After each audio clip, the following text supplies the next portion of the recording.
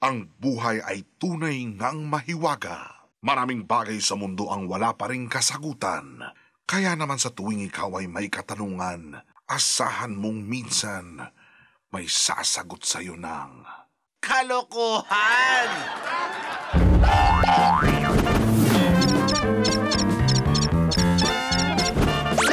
One kilometers versus 50 miles is equals to 63 billion inches.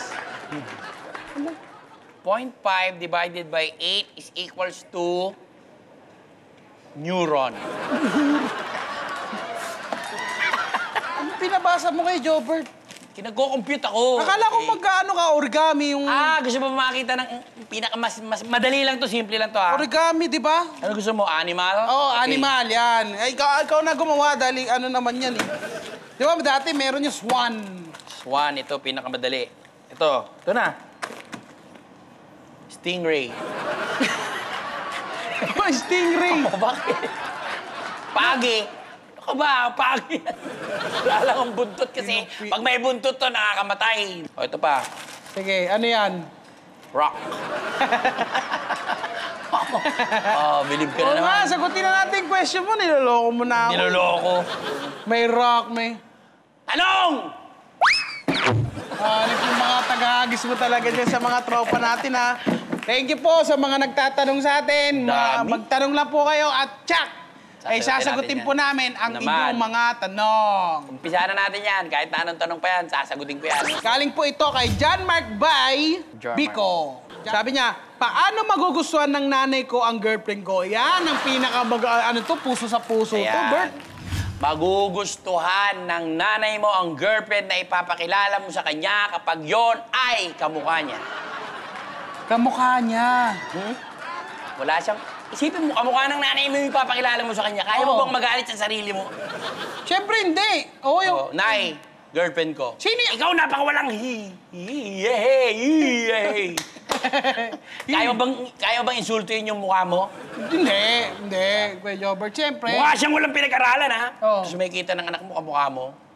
Hindi, parang sinabi mo sa mukha mo, wala kang pinag-aralan. Yan ang the best tip. Dapat ipakilala Kamukha, nyo. kamukha mo, suotan mo, damitan mo, gayahin mo yung mukha ng nanay mo. Baba, naka-duster nanay mo. Yung girlfriend mo, mag-duster din. Pareho silang suot. Para pagpasok mo sa bahay, ma, may papakilala ko si... Sino yan? Girlfriend ko po. Napakabat! Bata pa pala. Ayan ha, oo Hindi yan. niya kaya magalit. Siguradong maano na yung ang tao, hindi niya kaya magalit sa sarili niya. Oo nga, Subukan tama. mong- Kaya nga tayo nagsasalamin lagi. Para purihin yung sarili natin. So, basically, ang sinasabi mo kay Jobert, maghanap ka ng mapapangasawang kamukha ng nanay mo. Talaga, para hindi magagalit talaga sa iyo yun. Ikaw, ay, parang problema rin kasi Bienan, no? Bienan. ba ang hirap isa makisama sa. Bienan? Oo nga Pero naman. pag kamukha mo yung kamukha ng nanay mo yung mga pangasawa ko, tapos araw-araw pag nakatira na sa inyo, ganun pa rin ang itsura niya. Oo, Hanggang titira. lum- yung nanay mo nang lumayas sa bahay nyo, Siya na yung bago nanay mo. may asawa ka na, may nanay ka pa. Oo nga, tama nga yan. O ayan ha, nasagot ka. Pag ikaw sumablay pa. Ito naman, next question. Galing ito kay Grace. O, oh, yep ha. Grace with a Z. Bautista. Dapat ano na rin, with the Z. Kamukha pa din Grace Christian. Bautista Ramos. Ramos. With the May hindi pa, Ramos. Okay. Anong bang dapat unahin binabasa kapag naliligo para hindi ginawin? Eto, sa akin yun na naman to malalaman lang. Yan, Hindi yan. Tinuturo yan. Yan. Ang unang binabasa ng tao dapat para hindi ginawin kahit sa Baguio kayo maligo. Oo. Sagada, New Zealand, Oo. puyo. Yung puyo, yung baganyan. Dahil ang puyo ay konektado sa puso ng tao. Talaga? Hmm. Kaya nga pagka hindi totoo yung minsan CPR, Oo. dito lang yan, oh. Hindi siya makahinga. Sa, sa puyo? sa puyo? Eh, paano Mas kung madali dalawa yung nga puyo? dito eh. May tao ko Jobert na ano, dalawa yung puyo. Di dalawang puso niya. Eh, dalawang. Buhay. Ay, dalawang, dalawang puso, Oo. dalawang puyo. Pwede rin dito, kaya lang ang pinakamadali dito. Kasi nga, pinakamalaking ugat to eh sa puso. Ito, eh, di ba may ugat? Oo. Ito yung pinutol, ito ugat yun. Yan na yun. Kaya pag medyo hirap ka huminga, gumanong ka lang, oh. Ay, salamat. Kunyari, medyo ano ka na, yung tumataas na, nakakain ka ng mga pa-high blood, ganun. Masahe, masahe mo lang yung puso mo? Oo, Puyo. Ano ba yung question pa isa uli? Parang may follow-up question ako dito eh. Ano daw, para hindi ka ginawin. Ah, oo, ano nga. hindi ka ganawin. Yun nga, ito nga. So yung mga dapat- eski mo, Para wag kang... At saka, ang pinaka, para pinaka, wag ka talagang ginawin, lagyan mo ng takip. Pwede Yung kang maligo kahit na nagyayelo yan. Maligo ka sa loob ng freezer ng mga ice cream factory, takpan mo lang yung puyo mo. Kaya mo yun, pa ganun-ganun ka ano, pa. ano tingin mo sa mga tao garapon? Nalagyan ng puyo? Kaya lang naman giniginaw ang tao dahil sa puyo. Takpan mo yan, maglakad ka sa snow, hindi ka magiginaw. Kahit maglakad ka Everest? nakakita ang mga sundalo, gumaganon, tinatanggal yung helmet pag naglalakad sa yelo, buhay Oo. pa rin. Ah, kaya pala, Ganun. puyo lang pala yun. Subukan mong, pag sinabi siya na, taas ang kamay, yelo agad yun. Ang puyo, ang heater ng tao. Yun pala yun. Hindi naman dapat nilalagay dito yung thermometer eh. Dapat sa puyo, Didikit mo lang doon. Ang bilis noon. Pag dikit mo, 37.5. nakukuha mo na agad. Oo. Ano pala yung puyo na yan? Ang puyo, Kasi importante bi- yan. ano yung mga scientists binabaliwala lang puyo na yan. Ikaw lang nakakaalam niyan. Ganun talaga. Kaya mahirap din masyado matalino eh. Oo, doon. Sabi ni Kya. Ayun o, Kya. Sabi ni Kya, Kya, Kya, Kya. Kya Jonathan Reyes. Kya. Kya, Kya, Kya, Kya, Kya. Good morning, kaya, Kya, kaya. Kya, Kya, Kya, Kya. Ganun. Ano bang dapat gawin para maging top one? Halika. Ay, may papakita. Ito, Ay, top ito, one to ito, eh. ito, ito, ito, top Ito, one ito, to. top Naku. one. Halika rito. Tropa mo ba yan? Oh, naman, tropa ko to. Gwapo to. Halika rito. tropa ko rin yan. Tropa ko yan, yan, tropa. Makinig ka na, makinig ka Oo, na. Ito ang pinakagwapong kaibigan ko. Makinig ka. Ano yung tanong? Sabi niya, Pakituro bakit, ko sa kanya. paano maging top one ng, paano maging top one? Para maging top one sa lahat ng bagay, Oo. unang-una, kailangan mong maging matalino. Siyempre, Ikaw ang pinakapilosopong tao sa balat ng lupa. At siyempre, higit sa lahat, maging kasing gwapo ka nito. top one ka na.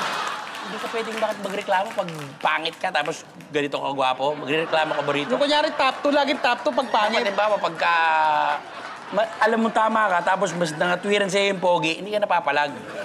Kasi pag talo ka na siya, yan, kahit- pag alam mong mali ka, tapos hindi na makakatwiran, sabihin lang sa'yo, ang pangit mo eh.